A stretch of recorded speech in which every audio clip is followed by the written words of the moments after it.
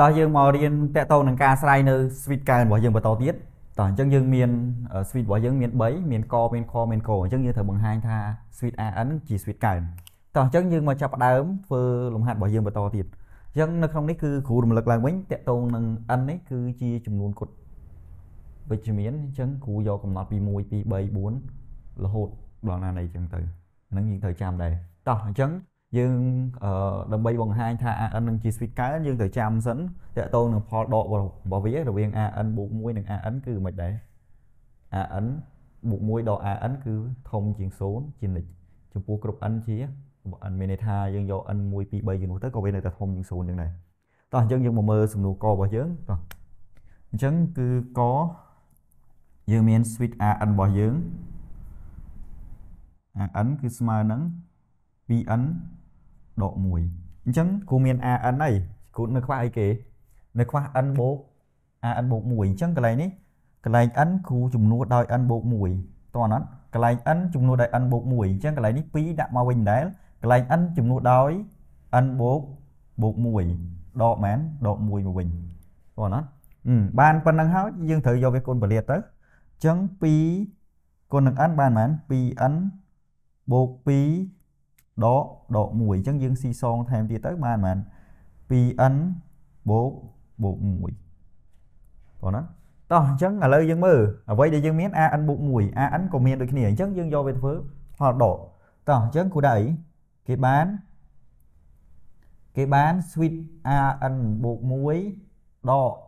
an ស្មើនឹងអញ្ចឹង an បូក1គឺស្មើនឹង 2n បូក1ដកនឹង AN របស់យើងគឺ 2n មែន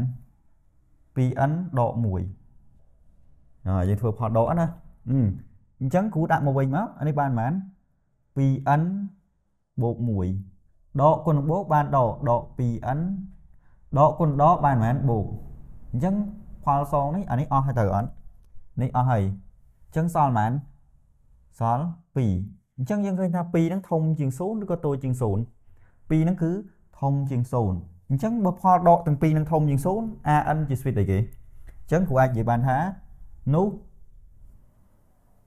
AN ជា switch អីជា switch ជា switch កើនហ្នឹងអាហ្នឹងប៉ុណ្ណឹងមួយអញ្ចឹងយើងអាចតន់អីអញ្ចឹងយើងនឹងមកមើលទី2មួយទៀតដើម្បីឲ្យកាន់តែច្បាស់ហើយ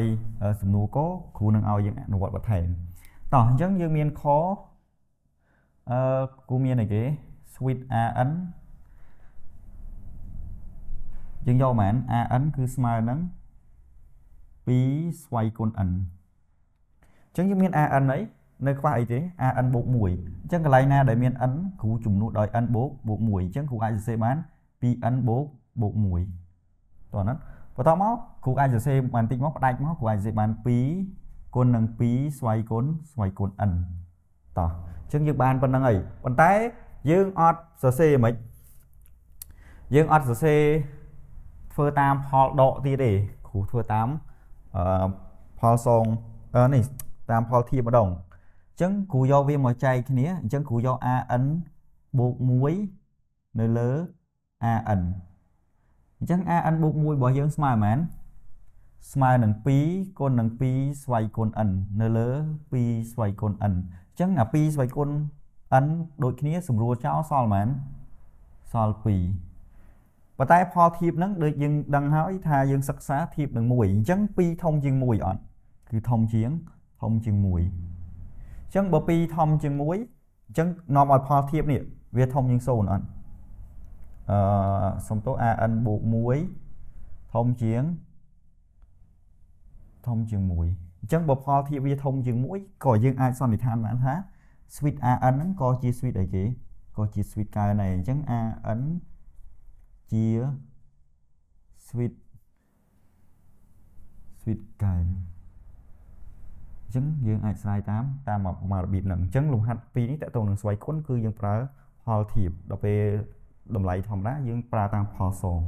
តោះអញ្ចឹងចំពោះការស្រាយបញ្ជាក់របស់គ្រូគឺមានតែប៉ុណ្្នឹងទេហើយបងប្អូនយកនេះទៅអនុវត្តទៀតកាន់តែច្បាស់ជាងមុនហ្នឹងមិនតាន់យើងនៅដើមឆ្នាំអញ្ចឹងចំពោះការចែករំលែករបស់គ្រូមានប៉ុណ្្នឹងបាយបាយ